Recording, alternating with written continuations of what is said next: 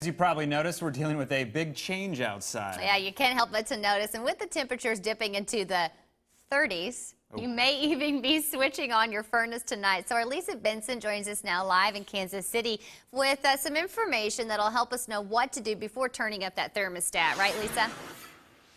That's right, Jadian. Right now, I am live in the basement next to the heater because for some, turning this thing on is accepting that summer is over. And today was the day for a lot of folks here in the metro because it was quite chilly. Here are a few tips to stay safe at home. Make sure that you don't have anything close to or next to the heater. Give yourself a three foot rule when it comes to a kids free zone to, of course, keep the kiddos safe. Never use your oven to heat your home and have heaters and chimneys professionally cleaned and inspected every single year. And I know there are some warmer days coming later on in the week, so now would be a great time to schedule that inspection. But for so many people in the metro, including myself, the heater is now on. Reporting live, Lisa Benson, 41 Action News.